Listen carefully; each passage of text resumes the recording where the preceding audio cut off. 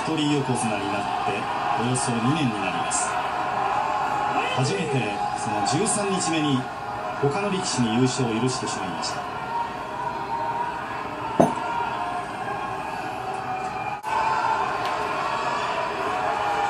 一番近い全勝優勝はもう一昨年になりましたが秋場所平成22年秋の白鵬の全勝。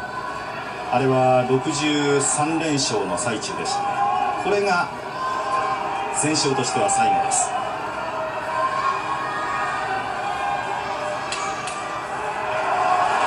さあ時間です。大関バルト。初優勝はすでに手にしています。何としても全勝で飾りたいこの千秋楽。白鵬にとっては雪辱の舞台です。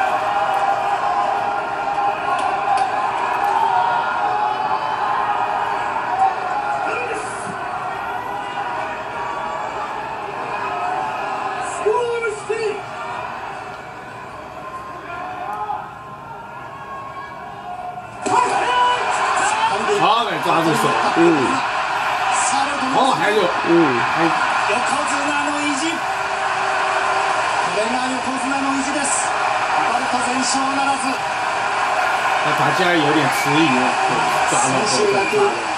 最後の一番で横綱白鵬が意地を見せた。そしてバルトここで。うん表情が崩れました。手を挙げてバルトの方は花道を下がりますこちらは冷静に横綱白鵬。あ今お母さんがあれあラクベレ県の旗だそうです。啊，えー取材したあのスタッフによりますと、えーラクベレ県の旗を持って取材しました。あの、応援していたお母さんです。だから二場所目じゃ早いぞっていうね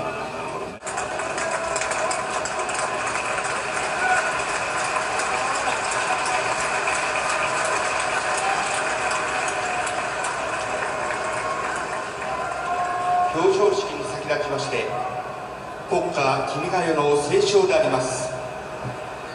皆様ご起立願います。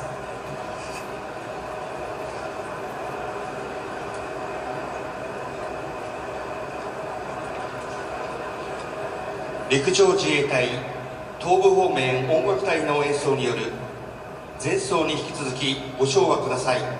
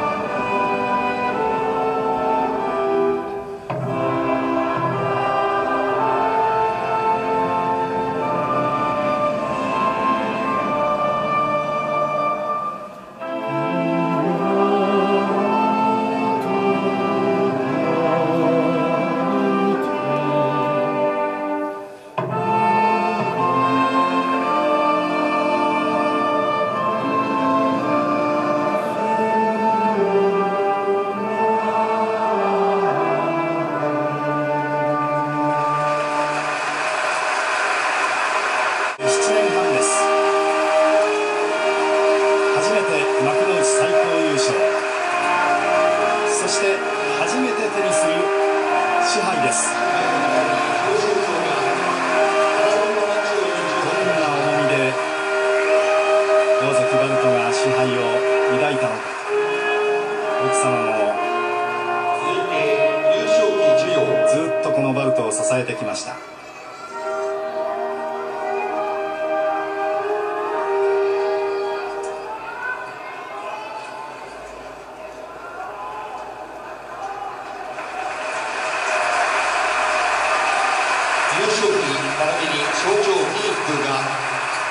三浦関審判副部長より授与されました。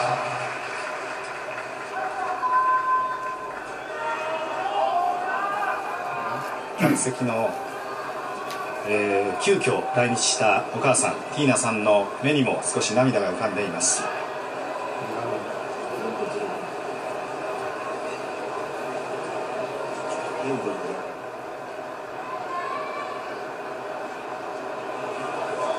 優勝インタビューです。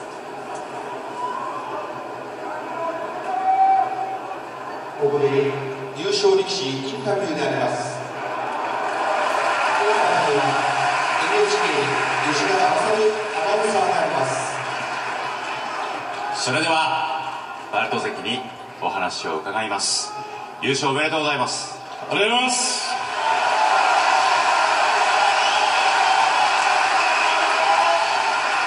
初めて手にした優勝賜杯今胸に抱きましたけどもどうでしたか？重かったんです。最高です。今日は残念ながら全勝優勝は逃しましたけれどもどんな思いでしょう？もう残念です。最後の最後まで諦めないで頑張りましたので来場所につなげて本当に一本目目指して頑張りたいと思います今場所をちょっと振り返っていただくと出だしは決していい相撲内容ではなかった日もありました。がまあちょっとパタパタが多かったんだけどまあ最後の方ちょっとやっぱ自信持って相撲取ってましたからまあそれでよかったです。特にあの中盤以降突っ張りが的確でしたね。もうできる自分でできるって思わなかったの。だけどやっぱやればできるもんです。終盤に入って優勝争い単独トップに立ちました。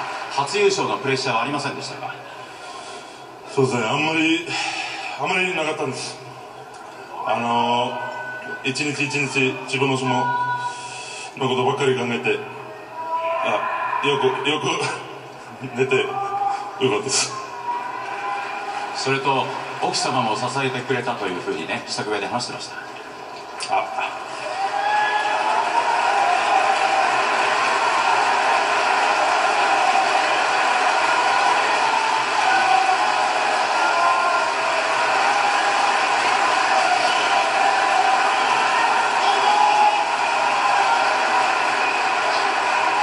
やはり辛い時苦しい時奥様の存在大きかったですか？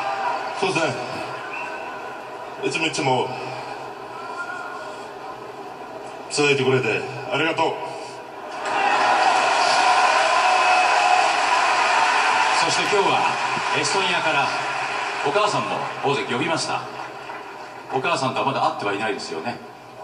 あのー、支度部屋でテレビで見ましたけど。お母さんにはどんな報告をしましょうか？やっぱり、えー、お母さんにいなかったら私もここにいないから。まあ私産んでありがとう。エストニアから一人で日本にやってきてバールト8年近く経ちましたけども今振り返ってどうですか？そうですね、えー、長くはなかった短くはなかった。まあ自分で選んだ道なんでよかったです、はい。えーいつも明るく平和な。陽気な大関が今日は涙がたくさん出ました。どんな涙ですか？